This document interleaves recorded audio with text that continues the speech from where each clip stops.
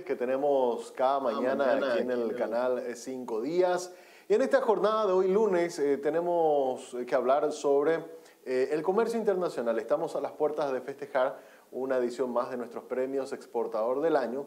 Y en ese contexto queremos justamente hablar sobre cómo está hoy el comercio internacional o en este año eh, el comercio internacional con todas sus variables. Y para hablar sobre eso está el economista César Barreto, a quien agradecemos que haya accedido a charlar con nosotros. ¿Cómo estás, don César? Muy buenos días. Muy buen día, un placer, gracias por la invitación. Un gusto también para nosotros poder conversar contigo en esta mañana. Bueno, a ver, eh, yo te pongo este pequeño escenario, César, eh, un poco para entrar en materia, para hablar sobre el comercio internacional. Vimos los números al primer eh, trimestre de este 2023 que arrojaba el Banco Central del Paraguay, números positivos donde un poco la soja y, y otros productos primarios están generando un buen ingreso de divisas, pero también en contrapartida en las últimas semanas hemos tenido eh, mucho clima de incertidumbre con toda esta tensión, sobre todo que se está dando en Medio Oriente. En tu análisis de cómo estás viendo el arranque de este 2024 y cómo este escenario tan cambiante a nivel internacional podría eventualmente afectar al comercio internacional, ¿cuál es, César? Ya, eh, en términos de volumen, por lo menos nuestro comercio está teniendo un buen desempeño, eh, reflejando principalmente la, la mejor producción de soja, que es nuestro principal rubro. También la carne, en términos de volumen, en el primer trimestre eh, eh, tuvo un repunte un poco superior al, al 5%. Recordemos que el año pasado la carne le costó un poco, tuvo algunas dificultades. Estamos notando una recuperación ahí, lo cual es positivo. Pero eh, por el lado de los precios es donde estamos viendo eh, números por debajo, en el caso de la soja bastante por debajo de lo que habíamos estimado, un 20% menos que el año pasado, que si bien vamos a tener seguramente una producción alrededor de 10% más que el año pasado en términos de soja, pero los precios van a, la caída de precios va a más que compensar eso, ¿verdad? Y más que eso, más allá que eso, digamos, eh, claramente el mundo está muy incierto, eh, no solamente para la soja, que eh, los precios como que no se instalan claramente si va a tener una tendencia bajita o alcista. El clima también está muy complicado. O sea, uno ve proyecciones climáticas cambiantes, cosas que no veíamos en años anteriores. Entonces, eso nos obliga a, tener más prudencia seguramente en todo, digamos, porque eh, está tan incierta la cosa que, que asumir riesgos muy importantes podría ser muy complicado. ¿no? Pero de cualquier manera, nosotros tenemos por suerte una economía que es bastante sana en general, los, los productores también están en una situación financiera bastante mejor que hace años atrás. Y seguramente nos va a permitir, eh, como que estamos preparados para enfrentar, enfrentar situaciones más complicadas. Pero por el principio, buena producción, eso se va a notar seguramente en mayores volúmenes de exportación. Y hay que estar pendiente de lo que pasa con los precios, ¿verdad? Ahí por la cuestión de los precios, lo último que estábamos mirando, por lo menos en análisis internacionales, hablaba posibilidades, o por lo menos hay expectativas de que pueda aumentar el precio de, las, de los commodities energéticos, caso petróleo, pero sí eh, mantenerse o bajar el precio de los alimentos. Eh, ¿Coincidís con ese análisis, César? Sí, la presión en, términos de petróleo es alcista desde fines del año pasado, más o menos, ¿verdad? Eh, y la situación eh, geopolítica en, en, la principal zona productora, digamos, nos ayuda mucho en este sentido. Pero hubo un susto el fin de semana pasado, antepasado, ya con el el inicio de las dificultades entre Irán y, e Israel. Eh, si bien Irán no es lo mismo que Rusia, eh, tiene alrededor del 1% de la producción mundial, eh, igual en la medida que estos problemas se expandan y generen incluso problemas logísticos nomás y ahí en, en, la región del Medio Oriente, podría interrumpir el flujo normal de, de, de producción de petróleo. Entonces generó un poco de susto, pero sin embargo, los precios eh, reaccionaron menos, eh, aumentaron un poco en los primeros días, pero después de vuelta retrocedió. y no vimos cambios muy sustanciales como los que vimos en el 2022 con la invasión de Rusia a Ucrania, que fue un choque muy, muy fuerte.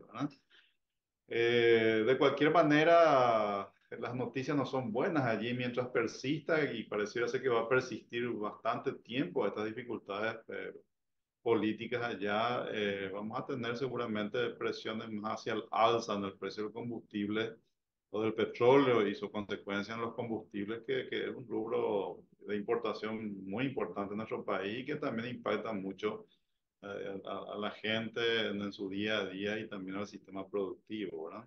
Pero es una realidad que se nos impone desde el exterior, digamos, tenemos que encontrar la forma de, adaptarnos lo mejor posible a lo que está ocurriendo allá, ¿verdad?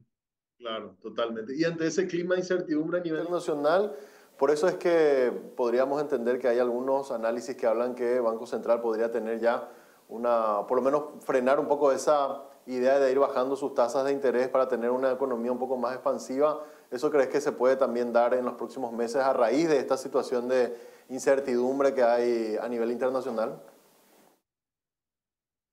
Bueno, ahí ah, también impacta, además del, del, del, problema Medio Oriente, impacta un poco también el comportamiento que está teniendo el propio dólar. Mm. Que, eh, yo recuerdo que en Dende hicimos una charla a fines del año pasado y nosotros sugeríamos cierta prudencia en el ritmo de reducción de tasas en Paraguay porque un diferencial de tasas muy pequeña entre el, inversiones en guaraníes versus inversiones en dólares podría generar una depreciación del guaraní más allá de lo que sea eh, compatible, digamos, con la situación del, del, del, flujo comercial del país. ¿verdad? Nunca es bueno que la cuenta de capitales eh, eh, empiece a generar problemas en la cuenta corriente, digamos. ¿verdad? Tratamos siempre los economistas de que del que el sector real de la economía tenga las menores interrupciones posibles y que funcione lo mejor posible, porque ahí está relacionado el empleo y los ingresos de la gente. Entonces, sin embargo, el Banco Central redujo más allá de lo que estimábamos la tasa de interés y, sin embargo, en Estados Unidos pareciera ser que primero no ocurrió lo que se esperaba, que iba a reducir la tasa en marzo, ahora ya prácticamente están hablando de que no hay eh, certeza de que haya alguna reducción en el recurso de este año, o si ahí sería ya en el último trimestre probablemente. Entonces fortalece el dólar que se notó en la cotización de, en toda la región, en todo el mundo, y también impactó en Paraguay que el dólar está eh, más alto típicamente en Paraguay, febrero, marzo y abril eran meses donde el dólar retrocedía un poco porque ingresaban las divisas de las exportaciones, pero en esta oportunidad eh, ocurrió prácticamente lo contrario. Entonces, si en estos meses de alta entrada de divisas, de repente el dólar se depreció, ¿qué es lo que podemos esperar en el resto del año? Esa es un poco la preocupación que hay en el sector empresarial, principalmente importador, porque finalmente si que compra, compramos productos más caros, va a terminar habiendo productos más caros también al consumidor en el transcurso del año. ¿verdad? y la inflación viene subiendo. Hay que recordar que el año pasado la inflación se dio bastante, incluso por debajo del 3% anual en varios meses, pero ahora está recuperando terreno rápidamente y nosotros estamos proyectando ya una inflación por encima del 4% para el cierre de este año. Entonces, creo que el Banco Central tiene que estar muy atento a esto y, y ver cuál es la mejor decisión, digamos, que haya que tomar en, el, en términos de esos instrumentos de política monetaria. Totalmente. Eh, me llaman, recojo varios temas que estás diciendo, pero realmente me, me llaman bastante la atención. Pero hay un tema que del informe de comercio exterior, eh, de un dato que no veíamos hace tiempo, que es, por ejemplo, en el caso de la maquila, que hubo una caída un poco en las exportaciones en torno a un 8%. Hay un menor consumo a nivel regional, porque en realidad gran, casi un 60% lo enviamos a, a Brasil o cuál podría eventualmente ser un factor de que haya un frenón importante, por lo menos al arranque de este año en, en ese sector, César? Me sorprendió también, es un rubro que venía creciendo constantemente. Eh, la maquila responde más bien a la, a, la, competitividad que tengamos en costos en ciertos rubros, que son tres rubros los importantes allí. Eh, confecciones es uno, plásticos es otro y los autopartes son la tercera línea importante, digamos. Ahora, entre esos tres está gran parte del, de la maquila en Paraguay. Lo que notamos es que la parte de confecciones tuvo una retracción en términos de volúmenes importantes. Es probable que sea por alguna cuestión de costos porque uno mira la economía brasileña, por ejemplo, en términos de consumo, viene fuerte. El año pasado estuvo fuerte, un crecimiento importante. Este año de vuelta se están eh, incrementando las tasas de crecimiento para Brasil respecto a las proyecciones iniciales. Entonces, pareciera ser que por el lado del consumo no debiera de ser, puede ser que estamos teniendo algún problema en términos de competitividad de costos, pero desconozco a profundidad los detalles del tema, habría que consultar un poco con los operadores del sector. Lo que se nota es que en la parte de confecciones ah, hay una retracción, la parte de, de autopartes sigue creciendo, menos en términos porcentuales, pero por lo menos no hubo caídas en ese sector.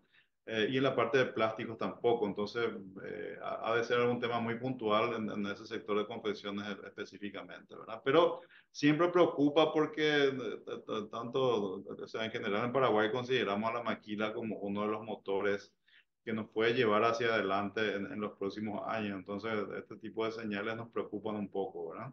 Claro, y sobre todo porque es un gran generador de empleo, ¿verdad? Si es que comienza a verse afectado en términos de exportación, todas esas inversiones que están proyectadas para ese sector se podrían, eh, podrían eventualmente frenar y no generar esos empleos esperados. Así es, en estos días vi publicaciones del, Ministerio de Industria que hablaban de más de 25 mil personas que estaban trabajando en estas empresas. Eh, el potencial allí es grande. En, eh, en, algún momento hemos hablado de, de generar 100 mil empleos en ese sector en un periodo de 10 años eh, ojalá se, se, se, puedan, eh, podamos seguir creciendo y que eso ocurra, porque pocos, nuestro país no es que abundan los sectores donde uno pueda eh, generar puestos de trabajo de cierta calidad con una remuneración relativamente buena para sectores jóvenes del país. Entonces, ese es uno de ellos. Y si hay algunas dificultades de vuelta que yo desconozco los detalles, habría que tratar de resolverlas lo antes posible, ¿verdad? Porque ha funcionado bien en estos últimos años. Claro.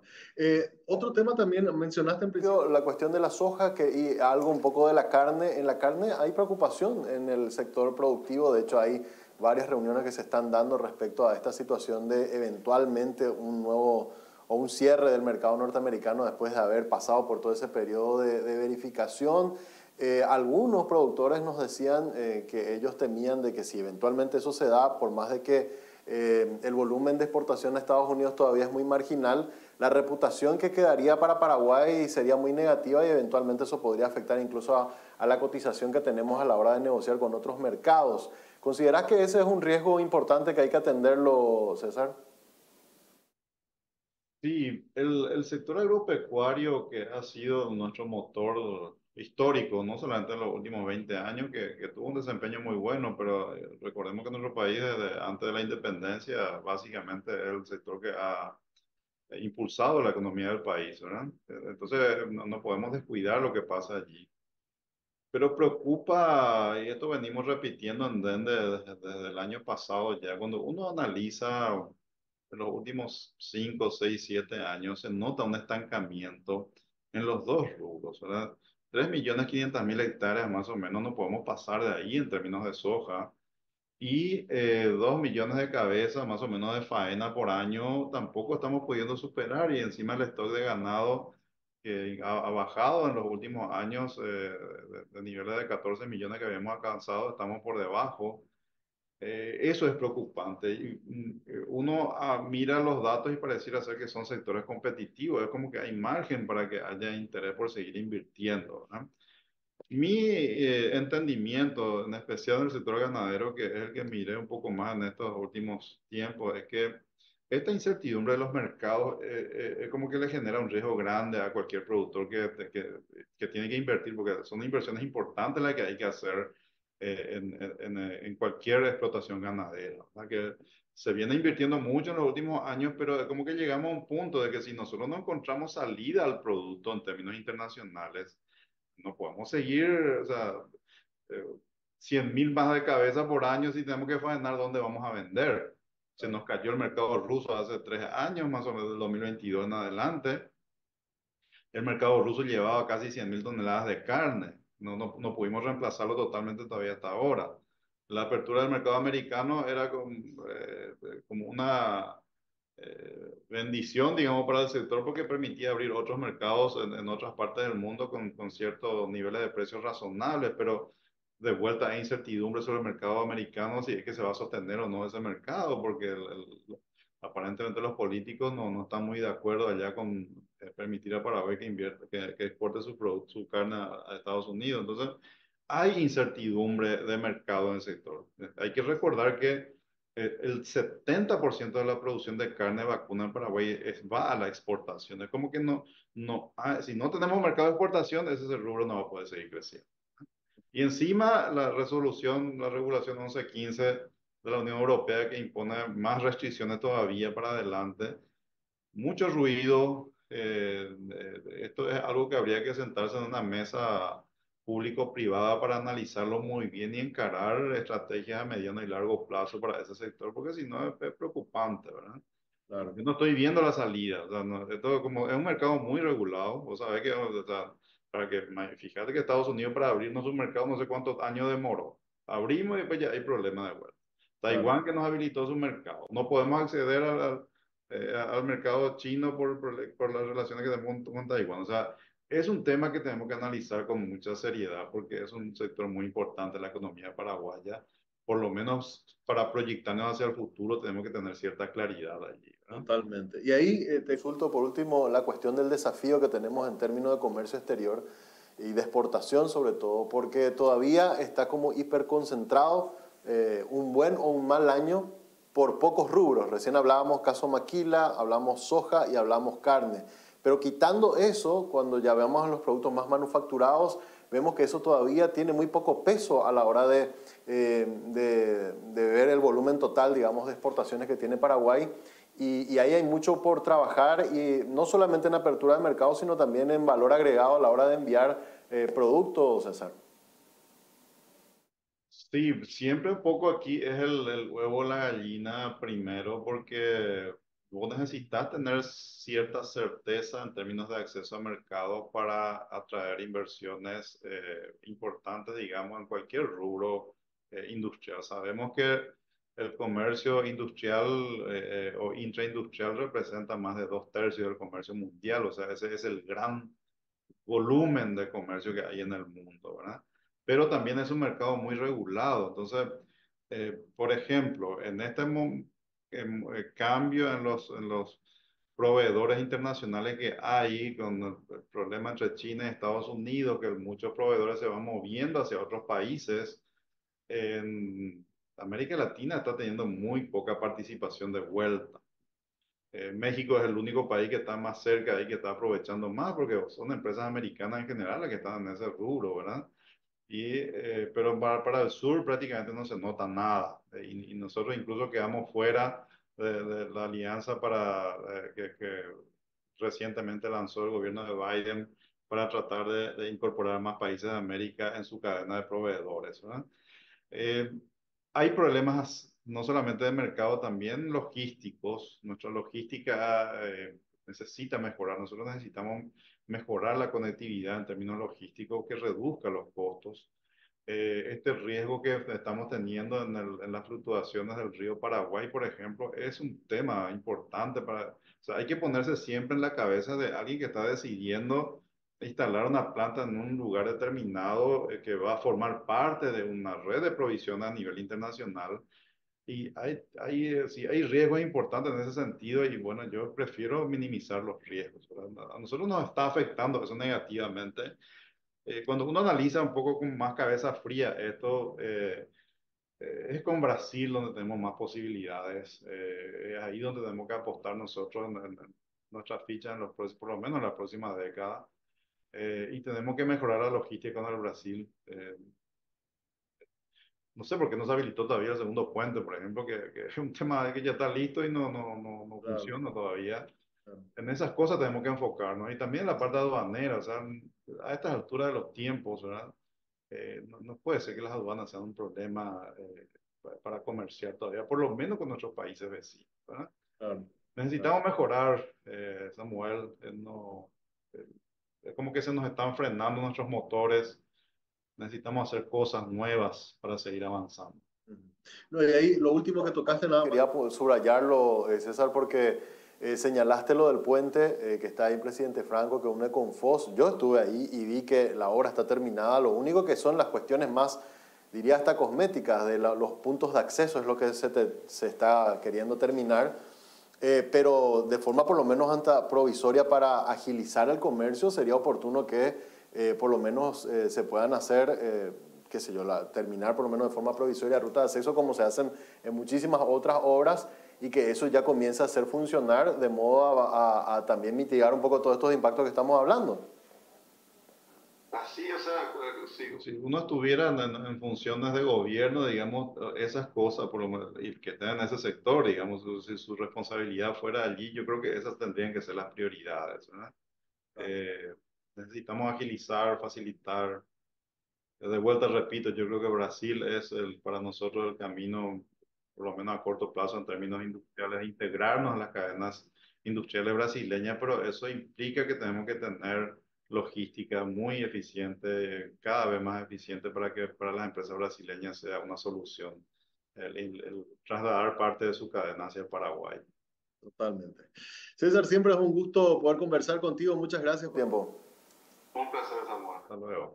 Muchas gracias. Estábamos entonces con César Barreto, economista. Eh, él es también justamente uno de los analistas principales de Dende, fue ministro también de Hacienda, una persona muy entendida también del mundo financiero como directivo de, entidades financieras y siempre es un gusto poder conversar con él porque tiene una visión bastante amplia de lo que es la economía. Antes de cerrar este espacio donde siempre le damos destaque a algún tema en específico, ahora hablando sobre comercio internacional en el marco de lo que van a ser nuestras premiación sobre exportador del año, porque evidentemente queremos hablar de estos temas que importan a, los exportadores. Te recordamos que puedes optimizar los retornos de tus inversiones en Avalon, donde tenemos las herramientas necesarias para asesorarte, desde certificado de depósitos de ahorro, CDAs, tenés bonos, acciones, fondos mutuos, inversiones inmobiliarias y mucho más. Comunícate con nosotros en nuestras redes o ingresa a www.avalon.com.py porque hoy es el momento de invertir. Y también agradecemos a Personal Flow, seguí el Wi-Fi en tu casa, o si el Wi-Fi en tu casa es personal, te duplicamos todo, elegí la conexión total, puedes comunicarte al 0971 100 000 Personal Flow. Así que damos gracias también a ellos que hacen posible que estemos nosotros aquí en las mañanas del canal 5 días. Y con esta nota ponemos punto final a este bloque de diálogo con agentes económicos.